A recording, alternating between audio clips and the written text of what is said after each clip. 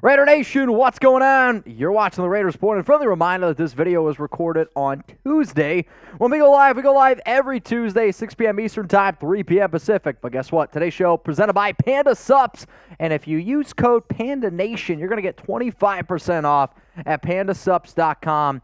Try the awesome protein that they have. I recommend the fruity, the chocolate, cookies and cream strawberries and cream. It's going to be the best protein that you've ever consumed. Let's go to LC Raider. What up, brother?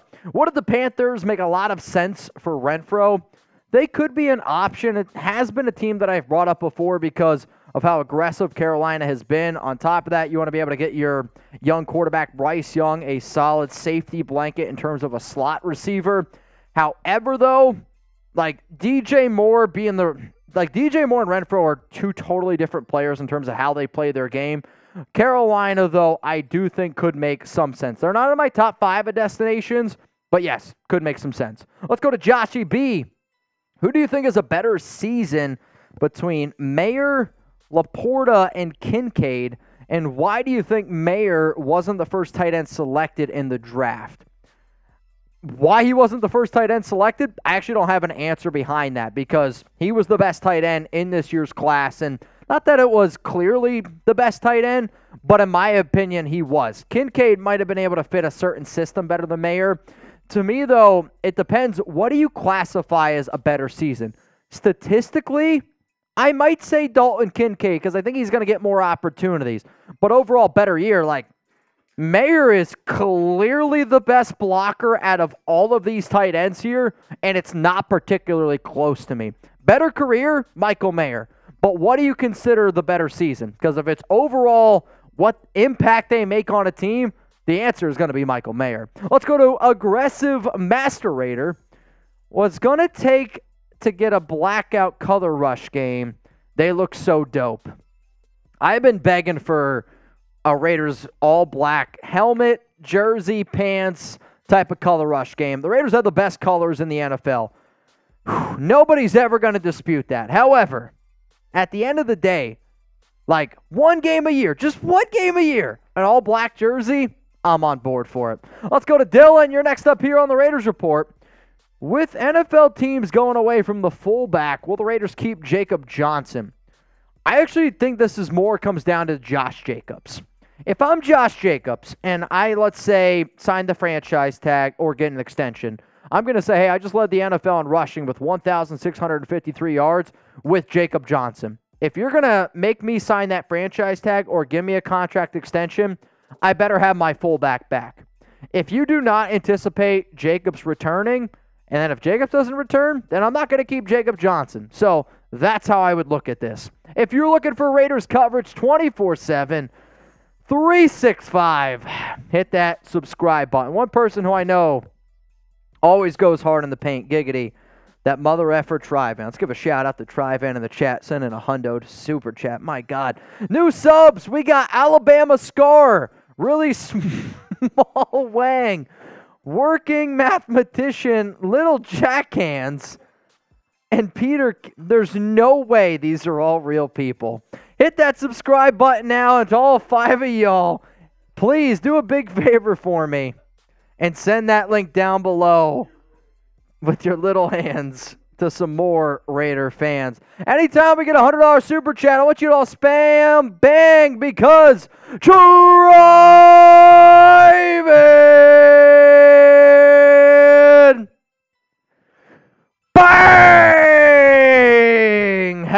How a boot? Try, man, I'll make you a deal. If I can sub some of those fireball shots for a boot, I'm in. Let's go to Mario. Who do you think will have the most rushing yards this season? On the Raiders, Jacobs. In the NFL, it's really hard to see back-to-back rushing kings. Look out. Um, I would say a sneaky option might actually be Jonathan Taylor because the Colts are going to run the football even more than what they did last season. And a lot of times, rushing quarterbacks can help out certain players. So I'd say Jonathan Taylor is a sneaky option. Derrick Henry is always going to be up there. Jacobs deserves to be up there as well. Those would be the top three that I would go with. Let's go to A Rod. Will McClendon Curtis make the final 53? I don't think that he does. I want him to make this roster. I think he's a good player overall. I like his versatility. I like his upside. I really hope that he ends up making the practice squad and the Raiders continue to work with him.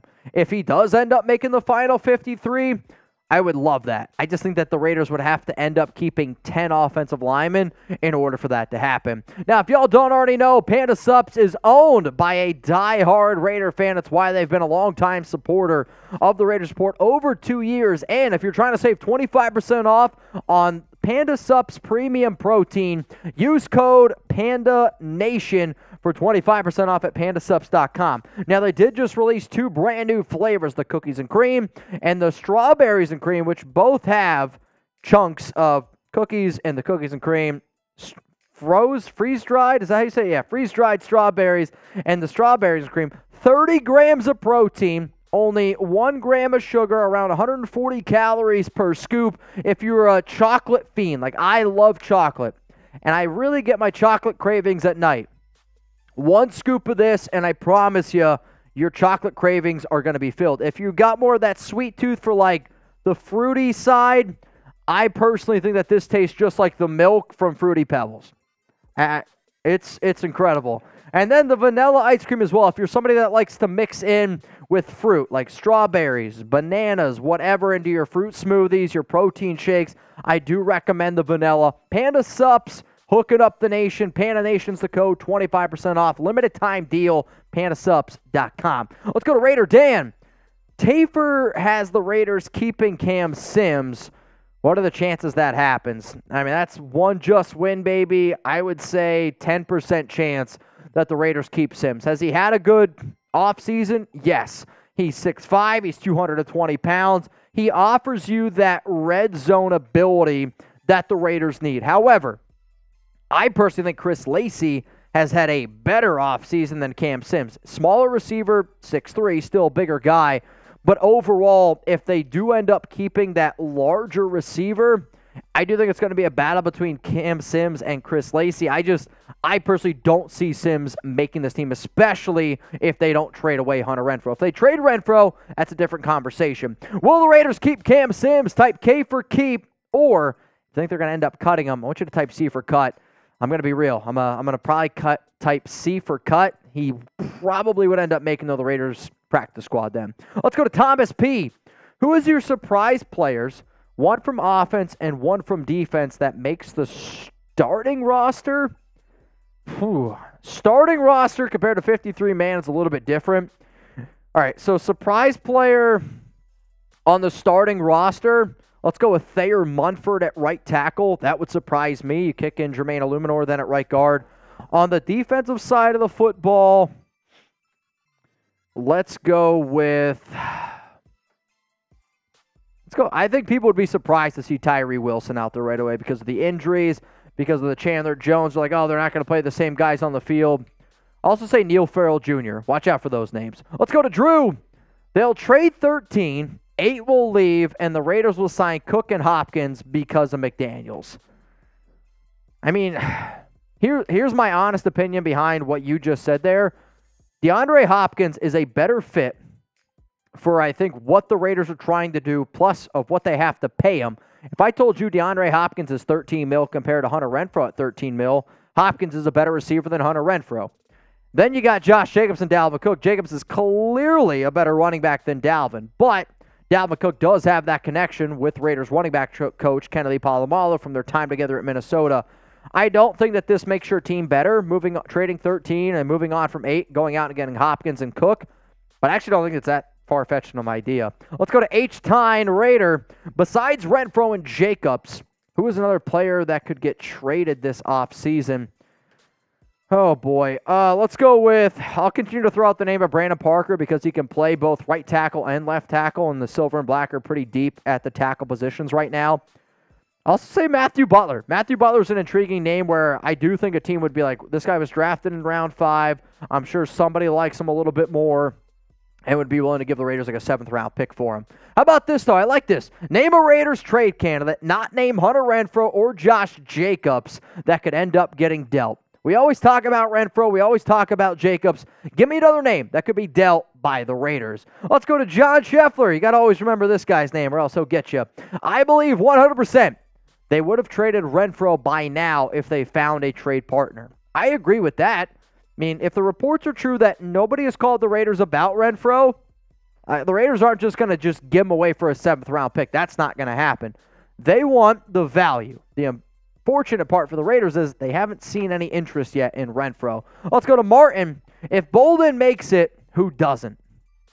If Brandon Bolden ends up making this roster, that means that you're probably moving on from a certain offensive lineman that could have made it, maybe a defensive tackle like a Nesta Jade Silvera, offensive lineman like, I don't know, a Greg Van Roten, maybe a, an Alex Bars. From a defensive end standpoint, Adam Plant Jr., Jordan Willis, linebacker, Luke Masterson, safety, Isaiah Pola-Mao. Like, there's no reason to keep Brandon Bolden. What up, Rebel?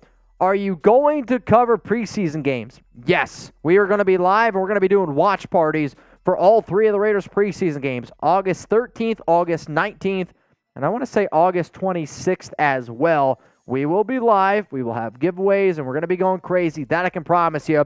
And I hope that you join our Raiders preseason games because they're a lot of fun. They're they're a lot like Thursday night football. We let our hair down a little bit. We get wild. So hopefully you guys all tune in and enjoy our content here on the Raiders Report.